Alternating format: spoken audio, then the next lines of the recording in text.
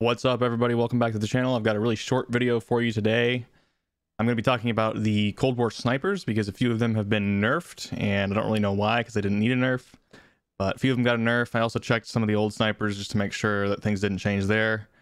Um, so I'm basically going to give you what the best snipers are right now and the best loadouts for each sniper uh, and where those snipers excel. So we'll jump into it here in a second. But first, if you guys like the content, you like the website, um, consider subscribing, dropping a like, dropping a comment. Helps us grow, helps keep the website up.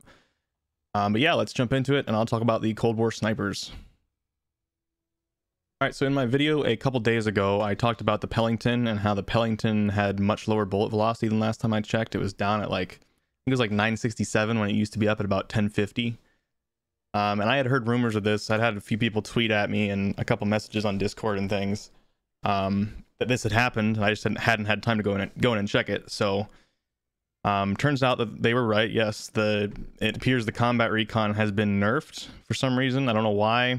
Um, the Pelington was in a good spot before, but now it's kind of pointless. Like there's no reason to use the Pelington over the Kar really anymore. I mean, reload speed, yeah, that's something that would be a benefit to using the Pelington, but um, overall, there's just not a lot of reason to use it. You can get no glint as well, but I just don't think that's worth the hit and bullet velocity over the Kar 98.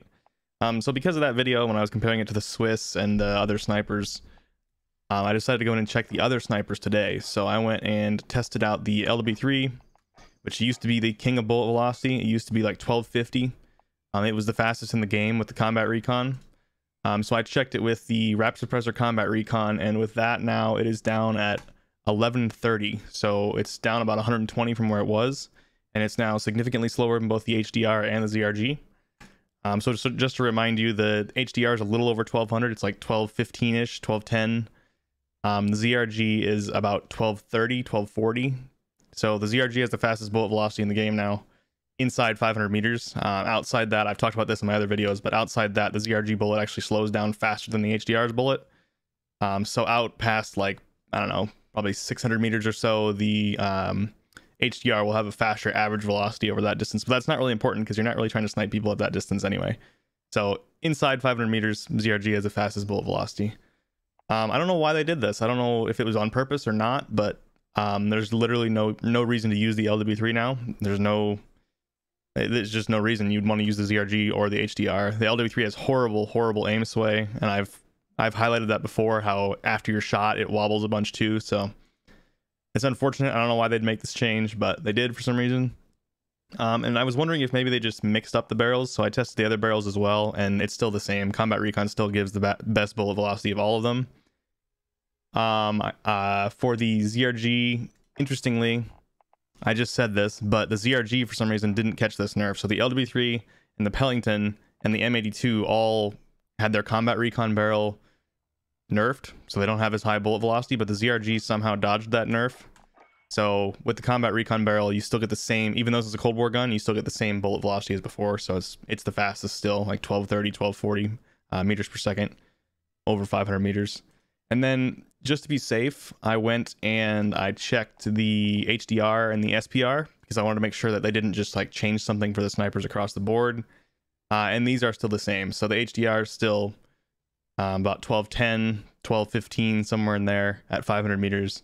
And then the SPR is still right around, it's like 1180, 1200 meters per second. So there's only four snipers I'd recommend using right now HDR, SPR with Norma rounds, ZRG, and Kar 98. So basically, it's like a continuum. So you want to be really aggressive, you're going to use a Kar 98, standard build, monolithic, longest barrel, tac laser, um, either regular sniper scope or variable sniper scope. Um, I think most people probably use regular sniper scope. And then three options for the, the last attachment slot would be the aiming stability stock, the ADS stock, or sleight of hand. Sleight of hand is now working again, so you can use sleight of hand again if you want because the Kar 98 has a terrible reload time. Um, so those are the three options. Uh, I'd say the most popular is probably the ADS stock, but I personally am a huge fan of the precision comb stock for uh, aiming stability. Uh, it's my favorite thing to use. Um, but yeah, sleight of hand's is a good option too. And then next up, after that would probably be the SPR. So the SPR is kind of the middle ground right now. It has good bullet velocity, good ADS times, Um, slightly better ADS times than the ZRG, but slightly worse bullet velocity. But it has a really good reload time. Um, it's just a great sniper all around, one of the absolute best. So if we go build that real fast, um, you want monolithic, longest barrel. A lot of people ask me if Dragoon barrel is viable, and it's really, really not. The bullet velocity is so, so slow with just the Dragoon. Um, Dragoon and normal rounds even is still really slow, so I would just recommend building it like a normal sniper and using the longest barrel. I wish the Dragoon was a little bit faster, like maybe split the difference between where it is and, and this barrel. That way we could maybe have some fun uh, no tracer sniper builds. That would be really cool. Um, but unfortunately, can't do that. And just a side note, if you didn't know this, because this is an integrated suppressor, the Dragoon barrel, it does not have tracers. So that is the fun thing about it, is you can kind of be like a super sneaky sniper. People don't uh, don't know where you're shooting from when you use the Dragoon barrel. But like I said, bullet velocity is terrible, so it's hard to use. Hard to use at any sort of range. So monolithic, longest barrel, tac laser. Um, rounds give the best bullet velocity. Uh, Lapua rounds uh, have quite a bit slower bullet velocity, so you always want to stick with Norma rounds. And and having no ammunition, like no Norma or Lapua, you get terrible, terrible bullet velocity. So you really want to use Norma. It's pretty much essential for this build. And then, you know, standard sniper scope or variable zoom. Because the standard sniper scope has worse zoom than like the Kar 98, I tend to use the variable zoom, and then I just always leave it on the high zoom version. Uh, that gets you a little bit more zoom than the Kar 98 standard sniper scope, which is kind of what you'd want this to be. This is kind of a, in the middle. It's more aggressive than a ZRG or an HDR, much better fire rate, much better ADS times. But uh, it's it just has a little bit lower bullet velocity.